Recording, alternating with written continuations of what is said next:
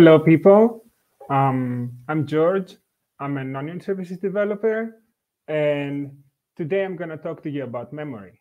So, memory is an amazing thing.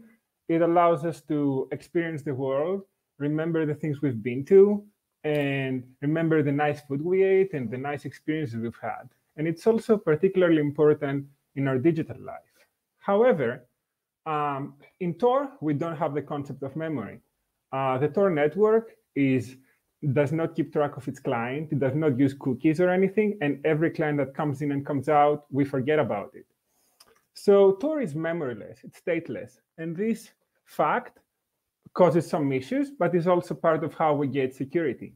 In this talk, I'm going to go through um, how we could potentially improve uh, and introduce new features by introducing state in some way. So for example, you might know that currently we cannot um, edit Wikipedia over Tor because Wikipedia is afraid of vandalism. And if in theory we could keep Tor could keep state about its clients, it could potentially try to distinguish or vouch for the good clients to Wikipedia so that Wikipedia gains more uh, confidence that the good clients are going to be the ones that are editing. Um, in a similar way, onion services are constantly getting attacked by denial of service attacks. And the attack works by the attacker hammering the service with traffic all the time. And we cannot stop this easily because there is no way to track how much traffic each service is, uh, each client is pushing and if client is bad or good. But if Tor could remember, or the onion service could potentially keep state about the clients, it could potentially act before the attack happens. So I give you two examples where the lack of Tor's memory is causing issues for us. And how could we uh, improve here?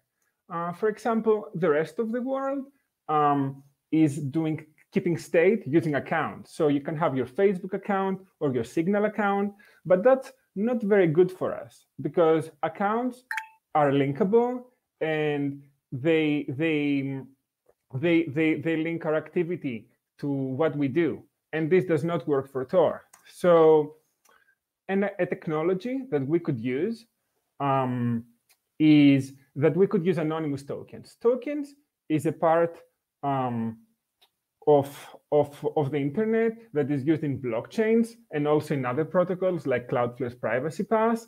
And it's basically like a train ticket. So by having a train ticket, you can show that you've done some effort to acquire it, but it doesn't tie to your identity. So if you drop it on the floor and someone else picks it up, um, you don't, um, they cannot impersonate you or they don't know who you are. And a similar technique can be used in computers. So for example, in the denial of service um, scenario before, the Onion service could issue such tickets and give it to their clients. And the clients would then give it to the Onion service when they connect and in this way, they will get service before the attacker.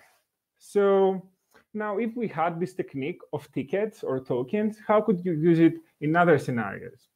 So, for example, we could design a secure name system so that um, people can register names for their onions using those tickets, and we can finally have human memorable names for onion services. Um, or censored users right now need to acquire bridges by solving a CAPTCHA. And because CAPTCHA is not a hard thing to do, the attacker does it before them and they manage to harvest all the bridges. But if we could use tokens, we could have a way to give bridges more intelligently. Um, so, or we could use tokens to incentivize the community to grow. So I hope I gave you some examples of how tokens can improve things and how we could use them in Tor. So that's it for me. And next is going to go David with our um, progress on onion services. Thank you very much.